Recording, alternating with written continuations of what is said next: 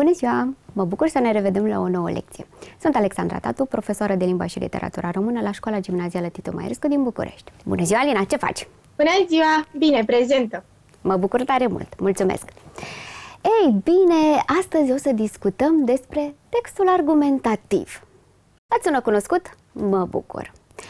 Dacă ar fi să-mi spui tu, în ce contexte ești nevoită să argumentezi propria părere, propria ți opinie? De obicei, când trebuie să-mi susțin ideea. Da. Și, și în ce contexte? Unde? Um, la școală. La școală. Um, acasă.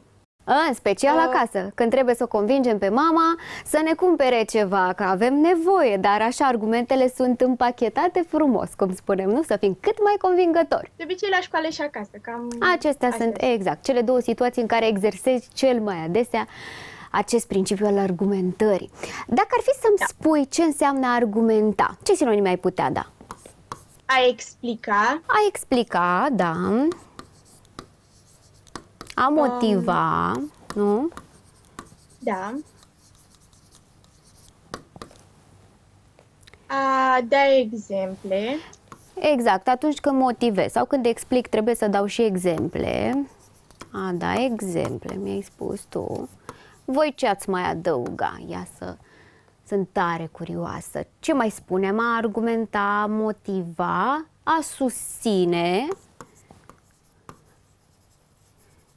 cum spuneam, opinia, crezi că argumentul este folositor și uh, atunci când ar trebui să evităm conflicte, poate că avem tendința să ne impunem punctul de vedere ridicând tonul, uh, încercând să-l acoperim pe celălalt. E o modalitate elegantă așa de a ne certa, să-i spunem, această argumentare, a dezbate. Poate sunteți obișnuiți, da. obișnuiți și cu această noțiune, cu activități de dezbatere, debate. Uh, probabil că și la școală ai făcut astfel de activități, nu? Să fii împărțit în da. tabere, ai o ipoteză de la care pleci și apoi cele două tabere trebuie să discute contra. Avem o echipă pro și contra. Dacă ar fi să-mi spui tu care este structura unui text argumentativ. Noi ne referim acum la partea de redactare. Bineînțeles că argumentele ni le putem exprima și oral. Cum spuneam, în contexte diferite, organizat în cadrul dezbaterilor, dar la școală, oriunde și bă, pe stradă până la urmă, dacă vreau să conving pe cineva de ceva, îi pot da acolo, nu o să folosesc structura mot dar îi pot da câteva argumente, dar într-un anumit context. Acum, noi vorbim de partea scrisă și atunci trebuie să respectăm o structură.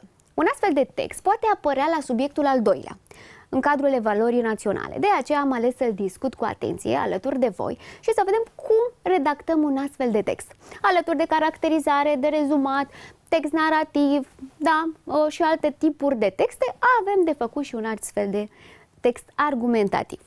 Îți aduci tu aminte, așa în mare, cam cum ai putea redacta? Da. Uh, introducerea, care e, în opinia mea, da. Sau după părerea mea. După aia cuprinsul care e în primul rând, în al doilea rând. Foarte bine. Și acolo dau exemple. Și încheierea cu în concluzie. E foarte bine. Deci, în principiu, știi structura. Te-ai mai întâlnit cu ea. Poate că ați exersat-o deja. Da. Și la o limbă străină, și la engleză, cred că folosiți, nu? Uh, acest, da. acest tip de text. Atunci e și mai simplu, mă bucur tare mult că vă e cunoscută, o să ne fie și mai ușor. Acum, cum spuneai și tu, avem nevoie de o introducere dar care să conțină opinia noastră. Îmi exprim, da. ca, exprim clar poziția față de subiect. Sunt de acord sau nu sunt de acord. Până la urmă pot uh, argumenta și sub această formă, da? contraargument. Da. Cuprinsul. Argumente. Cel mai adesea o să am câte două argumente în structura noastră și ai spus tu foarte bine de exemple. Trebuie să susțin fiecare argument cu exemple. Altfel nu sunt convingător. Iar da. încheierea va fi, de fapt, concluzia, da? acestor argumente. Voi relua pe scurt argumentele respective. Care este scopul acestui tip de text? Să ne ajute să ne dezvoltăm uh, pe moment ideile pentru a, um, a ne susține o anumită părere. E un bun exercițiu, exact. E un bun exercițiu pentru a-ți dezvolta această abilitate de a argumenta și scopul lui ar fi acela de a-l convinge pe celălalt Asta, asta trebuie să știm clar. Scop de a convinge. A convinge. O să mai întâlnești și persuasiune, da? convingere. Hai să vedem concret cum ne exprimăm opinia. Așa cum ai menționat și tu, pot folosi aceste formule. Cred că, consider că, din punctul meu de vedere, în opinia mea. Mare atenție, nu voi avea virgulă în aceste două situații, doar dacă va fi o structură intercalată, doar că folosind în opinia mea, din punctul meu de vedere, sunt foarte atent să folosesc și virgulă după. Deci, dacă vi se da. pare greu sau uitați, ideal ar fi să folosiți verbul de opinie, da? Să nu vi se întâmple din cauza emoțiilor să uitați această virgulă. Dar consider că exersând structura aceasta o să țineți minte și virgula de după. Apoi, argumentele noastre trebuie să fie susținute de exemple. Așa cum ai menționat și tu, pot avea aceste două argumente, în primul rând, în al doilea rând, dar structurile care se introducă fiecare argument. Sau pe de o parte, pe de altă parte, dar separat. Acestea sunt două variante, nu le folosesc pe toate patru în aceeași compunere. Apoi, cum susțin fiecare argument? Introduc exemplele folosindu-mă de aceste structuri. De exemplu, de fapt, de pildă, pentru că, deoarece. Depinde unde le utilizez, la fel să fiu foarte atent la virgule. Concluzia da. cum va fi formulat? În concluzie, așadar, prin urmare, în consecință. Virgulă după fiecare structură, nu uităm. Tu ce folosești? Uite da. să-mi spui la fiecare dintre la prima cel mai adesea folosești? În opinia mea. În opinia mea. Păi virgulă după? Da. La argumente folosești prima pereche sau a doua? Prima. Prima. Iar la concluzie? În concluzie. În concluzie. Pot spune a conchizând, spre exemplu, și a conchide, da? Conchizând. Dacă vreți să sune un pic mai sofisticat, să spunem. Hai să vedem ce mai avem de făcut. Un astfel de exercițiu de redactare presupune o uh, pas cu pas, așa o pregătire. Avem niște etape ale scrierii pe care o să le tot amintesc și ne-ați mai întâlnit cu ele dacă ați fost foarte atenți și ne-ați urmărit. Vorbim despre pregătirea aceasta pentru redactare. Întâi și întâi citesc cerința, pentru că astfel voi stabili scopul scrierii mele. Trebuie să gândesc un plan al lucrării și să adun toate informațiile necesare pe ciornă.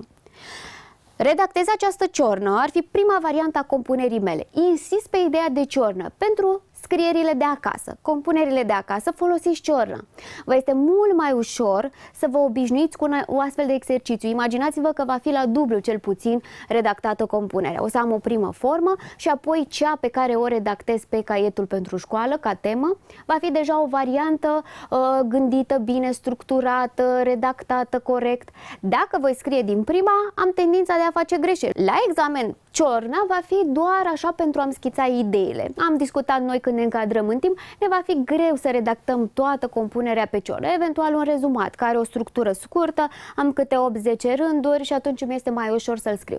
Dar o astfel de compunere cu minimum 150 de cuvinte îmi va lua destul de mult timp să o redactez pe ciornă și apoi să o transcriu și poate că nu mă voi încadra, așa că nu aș risca. Dar aș nota pe ciornă structurile, tiparele textuale pe care trebuie să le inserez. Revizuirea, cum povesteam, ar fi momentul în care eu citesc și corectez atât greșelile greșelile de ortografie, cât și cele de punctuație, da, pot avea și de exprimare și mă pregătesc să scriu textul pe foaia de examen. Aici am mai avea cu o etapă publicare. Dacă textul nostru poate apărea într-o revistă, revista școlii sau într-un anumit context. Acum, autoevaluare. Bun, ce înseamnă etapa de autoevaluare? Să știu ce întrebări îmi adresez după ce redactez acest text argumentativ. Și dacă bifez toate aceste idei, înseamnă că am respectat pașii foarte bine. Ce avem, Alina? Avem așa. Este clară poziția mea față de teză? Ce înseamnă poziție față de teză? Dacă mă pun eu, de exemplu, pe mine ca exemplu, sau uh, dau o situație din alt text. Asta mai mult se referă la ideea uh, aceea în care eu sunt pro sau sunt contra. Da? Okay. Pro sau contra. Și dacă știi că uneori putem spune sau suntem, uh, nu știm ce să alegem, parcă aș zice sau respectiva noțiune ar avea și argumente pro și argumente contra și atunci am tendința de a le pune pe amândouă și nu e clară poziția. Îmi aleg uh, partea aceea pe care pot să o argumentez folosind textul, pro sau contra, da. văd unde se înclină balanța și stabilesc clar uh, situația. Am prezentat două argumente diferite? Câte argumente, încă o dată, trebuie să folosim? Două. Două. Minim Am două. folosit, exact, două clar și atât. Am folosit exemple potrivite argumentelor formulate? Trebuie doar unul dintre ele să aibă exemplu sau amândouă? Amândouă. Amândouă.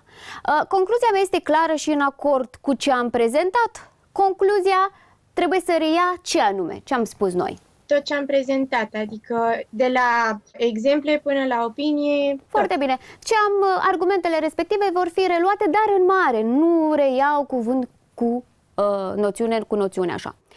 Crezi că studiile sunt importante sau este suficient talentul pentru a avea succes? Așa sună un exercițiu de text argumentativ dintr-un subiect de examen, un subiect de antrenament publicat de Ministerul Educației în anii trecuți pentru a avea așa un reper cam cum ar putea suna astfel de exerciții. Scrie un text argumentativ de minimum 150 de cuvinte, în care să susții răspunsul la întrebarea de mai sus prin două argumente. Deci avem clar menționat aici numărul de argumente. Valorificând textul 2 și experiența personală, respectiv de lectură. Dacă ai fi răspuns tu fără să faci referire la textul respectiv, care ar fi poziția ta, în general, așa vorbind, față de astfel de ipoteză? Cred că și studiile sunt importante. Da. Și uh, aș fi răspuns, uh, aș fi dezvoltat de ce sunt importante și faptul că și talentul are, uh, are rolul lui, dar mai Da. importante sunt studiile. Experiență personală Și-aș- sau de lectură, ce înseamnă? Uh, dacă am citit undeva uh, că studiile sunt mai importante decât talentul sau dacă mi s-a întâmplat vreodată să, am, uh, să mi se arate că studiile sunt mai importante Exact. decât talentul. Foarte bine. Dacă am experiență personală, pot alege într-adevăr experiența mea, a celor din jurul meu, da? dacă am auzit de o astfel de situație, iar la lectură, exact cum ai spus și tu, dacă există un astfel de personaj, să spunem, care să dovedească unul dintre cele două noțiuni. Că studiile sunt importante sau nu sunt atât de importante atunci când vorbim despre succes. Bun. Uh, punctajul pentru compunere cum se acordă? Întotdeauna avem 12 puncte pentru conținutul compunerii. Ce, deci ce scriu eu concret? Apoi redactarea. Pentru redactare primesc 8 puncte. Ce înseamnă redactare? Marcarea corectă a paragrafelor. Pentru asta am un punct. Coerența textului, un punct. Proprietatea termenilor folosiți, un punct. Corectitudine gramaticală, un punct. Claritatea exprimării ideilor, tot un punct respectarea normelor de ortografie, un punct și respectarea normelor de punctuație, de asemenea un punct. Lizibilitate, un punct. Voi pune titlu? Nu. Nu pun titlu. Bun, deci nu va fi precedată compunerea noastră de titlu sau de moto. Punctajul pentru redactare se acordă doar în cazul în care compunerea are minimum 150 de cuvinte și dezvoltă subiectul propus. Ce povesteam noi? Dacă avem 148, 149 și chiar sunt numărate, pot pierde din start cele 8 puncte. Vezi că limită superioară nu avem, deci putem scrie și 300 de cuvinte, da, 30 de rânduri, dar să nu scriu sub această limită. Acum, așa cum ai spus și tu, avem de valorificat textul 2. Eu vi l-am scos aici, îl citim împreună și vedem mm, ce elemente pot folosi pentru a susține această poziție. Avem textul 2. Aviația românească a apărut pe la 1910-1911 prin mintea și efortul a trei bărbați. Aurel Vlaicu, Mihail Cerchez și George Valentin Bibescu. Cei trei nu au colaborat pentru a crea cu mijloacele modeste ale fiecăruia ceva solid. Din potrivă, s-au concurat. Faptul este explicabil. Erau trei oameni încăpățânați și fiecare își dorea să fie el cel care pune bazele locomoției aeriene. Clienții erau însă puțini. La început, Aurel Vlaicu părea a fi marele câștigător. Sosise la București în toamna anului 1909, venind de la Binținți, satul natal de lângă Orăștie. Cu ajutorul lui Octavian Goga, a devenit un poet respectat în vechiul regat, a fost primit în lumea bună. Avea calitățile pe care chiar și musafirii zilnici ai cafenelelor cu surgii de felul lor le idealizau. Era inteligent, harnic și cinstit. În plus, era transilvanean. Destul de repede a obținut promisiunea guvernului că va fi sprijinit să realizeze un avion. Urma să fie primul aparat de zbor construit în România. Flecu și echipa pe care și-a format-o au muncit la aeroplan vreo șase luni. La începutul verii anului 1910 au început testele pe dealul Cotrocenilor. La 17 iunie 1910, Aurel Vlaicu a zburat și a intrat în istorie. Data a rămas memorabilă. Altceva însă legat de trecutul lui Vlaicu este important pentru cartea de față. Sora lui, Valeria, zburase deja.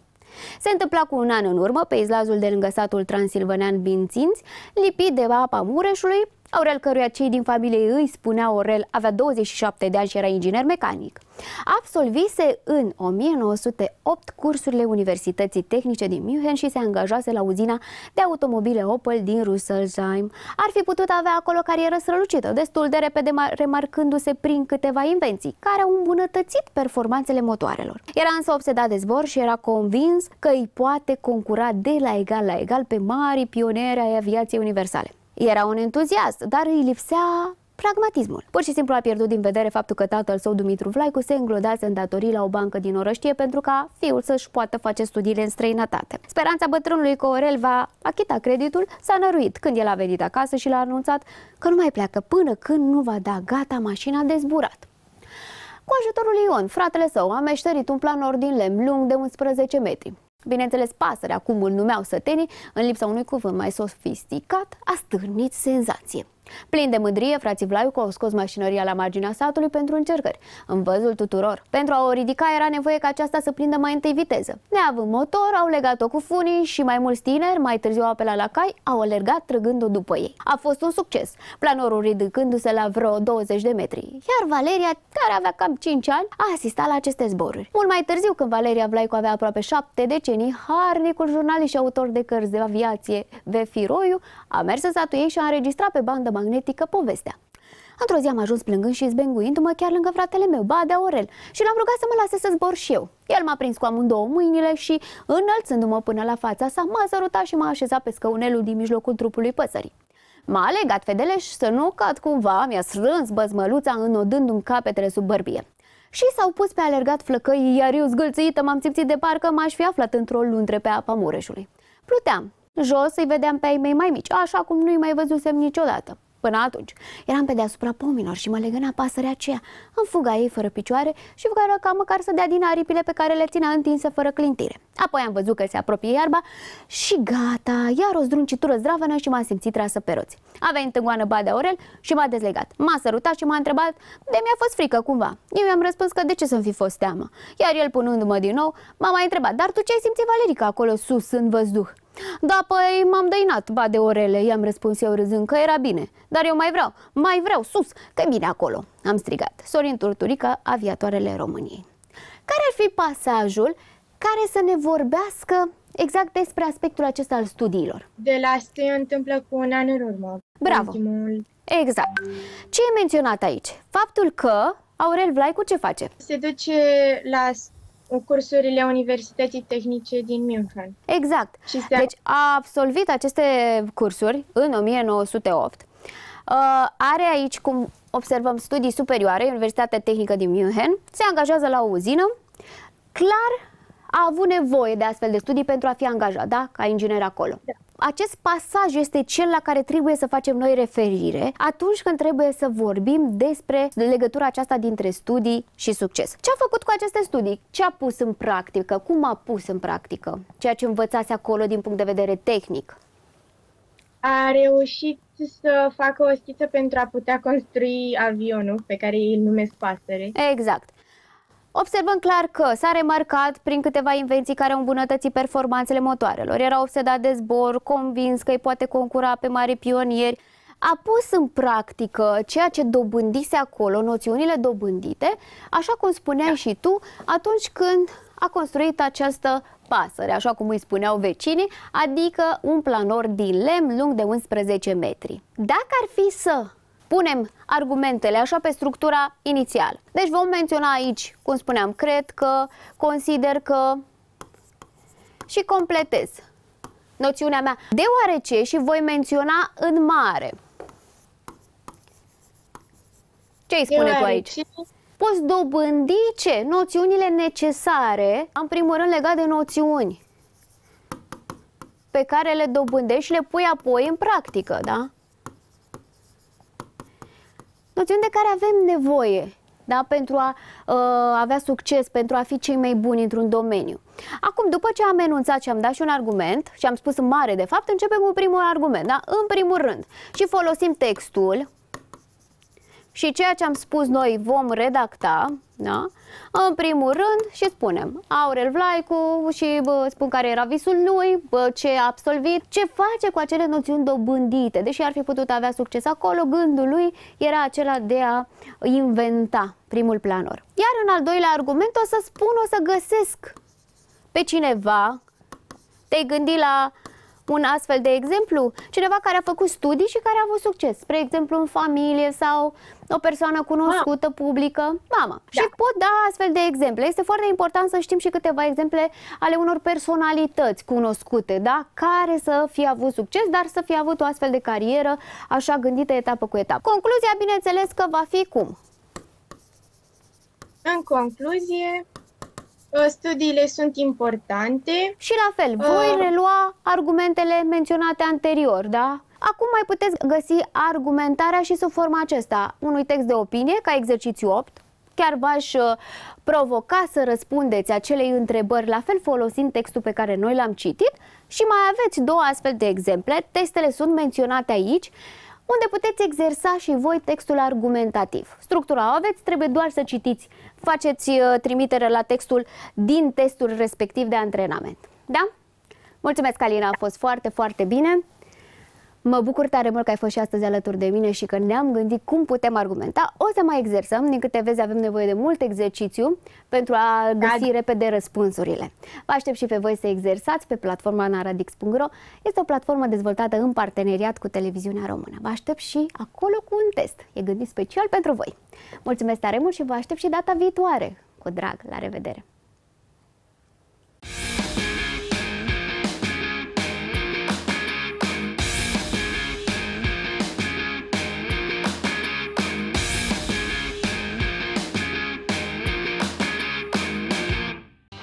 Emisiunea este susținută de Fundația Bosch România împreună pentru viitor.